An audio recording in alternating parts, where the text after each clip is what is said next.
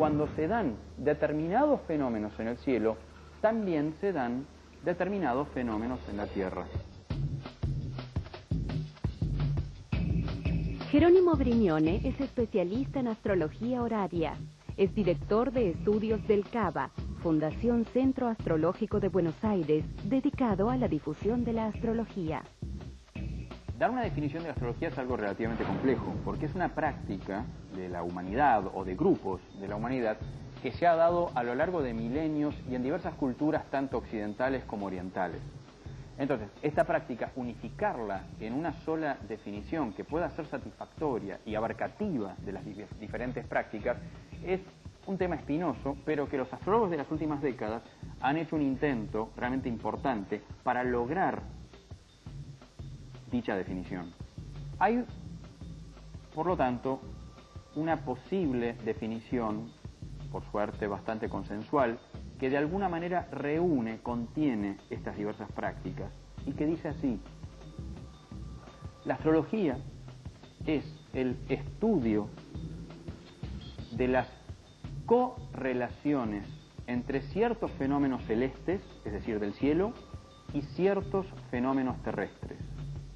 Uno es el estudio. Evitamos usar la palabra ciencia porque la palabra ciencia ha tenido interpretaciones y definiciones muy diferentes a lo largo de los siglos y quizás determinadas eh, pretensiones que tiene de sí misma la palabra ciencia en el mundo científico, la astrología moderna no puede completamente eh, cubrirla.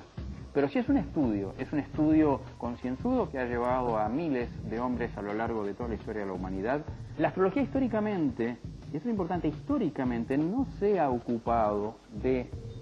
estudiar qué relación guardan determinados fenómenos celestes tradicionales que usa la astrología, es decir, eh, el estudio de los planetas, básicamente de nuestro sistema solar, del Sol, de la Luna, de los signos zodiacales, que son esa zona eh, del cielo a lo largo de la cual transitan el Sol, la Luna y los planetas durante el año,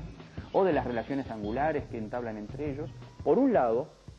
y fenómenos terrestres por el otro, la vida de un individuo, o fenómenos sociales, como puede ser los que se ocupa, eh, aquellos de los que se ocupa la astrología política o mundana. Decía, no se busca la relación, porque estudiar la relación entre esos fenómenos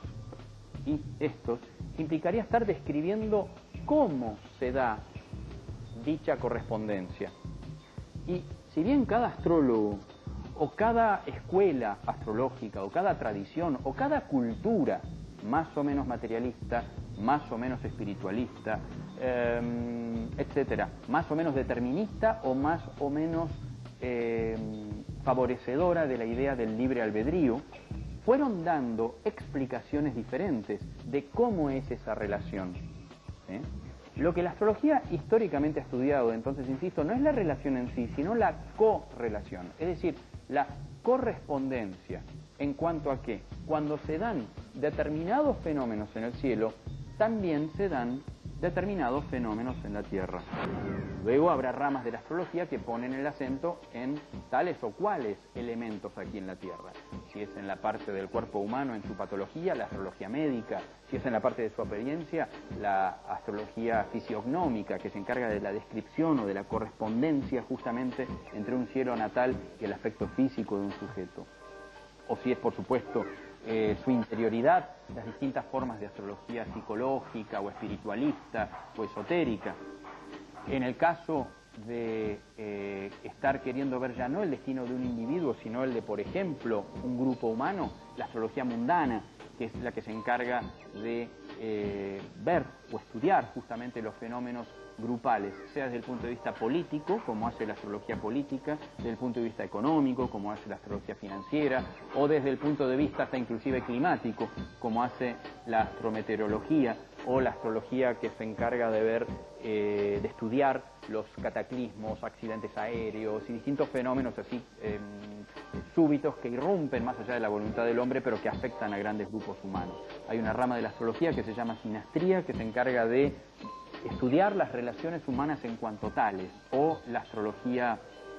predictiva, por ejemplo, que es una aplicación específica de la astrología, que es aquella que intenta determinar futuros eventos en la vida de un individuo o de un grupo humano, ¿sí? Desde una perspectiva, así como lo dice la palabra predictiva, es decir, tratando de determinar la ocurrencia de un evento lo más precisamente posible, tanto en lo que el, evento propiamente dicho sea, como el momento en que se ocurra. Más allá de un debate sobre la posibilidad o no de predicción, o sobre las bondades morales o no de la predicción, la predicción es un elemento central dentro de la historia de la astrología. En la actualidad se debate bastante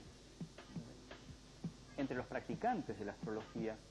si esta debiera ser o no predictiva, sobre todo a partir de pruritos morales, es decir, ah, uno, en principio, si estamos en condiciones de poder predecir con cierta exactitud eventos que ocurren en la vida de un ser humano, eventos registrables por terceros, me refiero a cuestiones físicas que puedan ser pistas, por llamarlo así, no solo procesos interiores.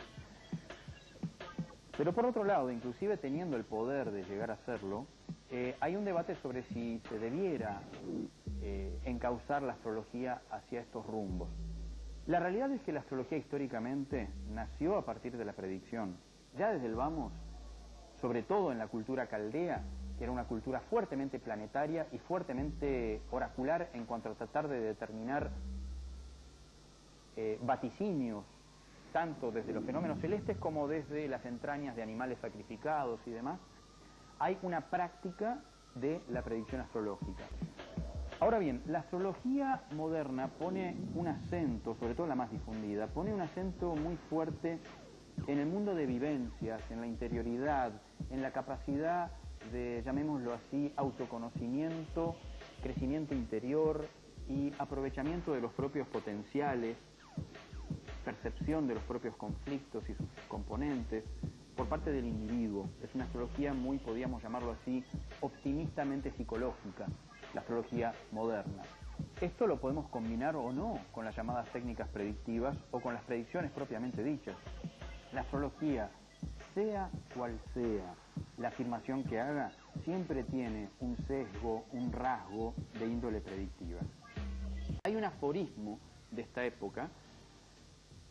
propio del llamado hermetismo, que es una escuela o una línea esotérica, ocultista,